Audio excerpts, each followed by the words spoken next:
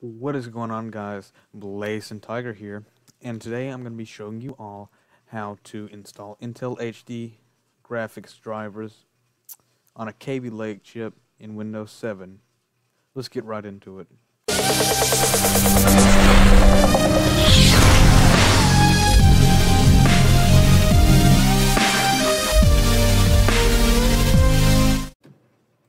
So as you may know, Intel um, HD graphics uh, drivers do not work on Windows 7 when it comes to the Kaby Lake chip, but we can fix this.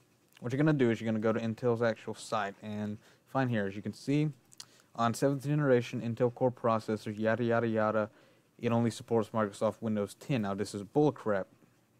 Download the latest zip, go to desktop and extract it. This is what you're going to be left with. Okay. Go to graphics,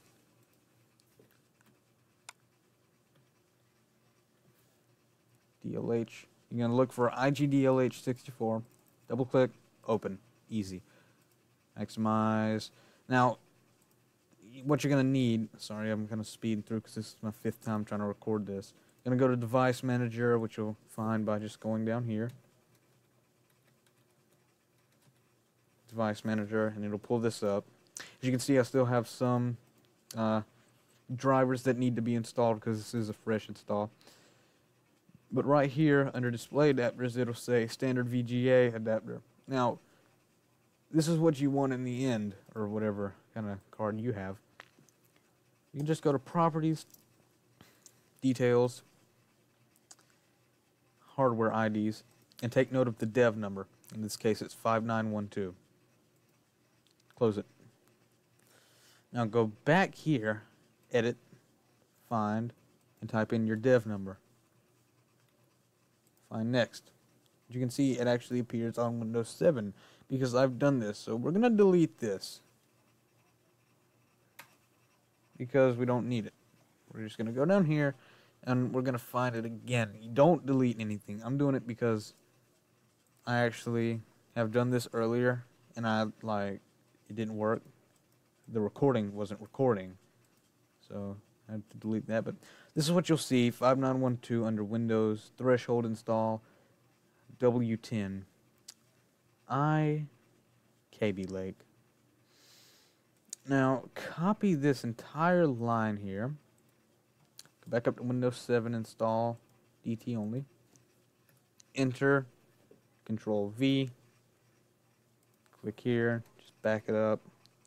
Now, you're going to change this to W7 and change this to SKLD. Close it, save, and back twice. Run the setup. And as you can see, the setup will pull up normally. Now, once you're, um, I'm not going to run the setup because it crashes OBS, but you will find that um, it'll pull up saying, Are you sure you want to install this driver software? Just install it anyway. It's safe, I can assure you. It's straight from Intel themselves. You just had to edit a few things to get a few things to work. You're going to click install anyway, and to prove to you that I have installed everything, we're going to go up to my unsafe theme up here. And boom, Aero. All the Aero effects work. It's a bit laggy because you know, reasons. But Aero works perfectly. Everything works fine. You can see everything through everything. Come over here. You can see it's got the whole glass thing. Uh, but yeah, that's about it. Um, if you enjoyed this video, or if you found it informative in any way, please leave a like down below. Uh, subscribe, because I have a bunch of other tutorials on here about certain USB things, such as like restoring uh, your full storage after a corruption or a broken write. But this has been uh, Blazing Tiger. It is around 5 o'clock in the morning, and I'm recording. But anyway, I will see you all in the next video. Bye bye.